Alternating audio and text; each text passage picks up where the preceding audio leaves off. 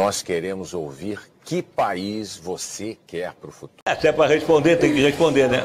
É por isso que eu não gosto de fazer entrevista.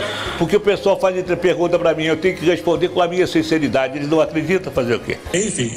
Eu vou estar quase morto. Se eu não estiver morto, eu vou estar quase morto. ah, é muito bom.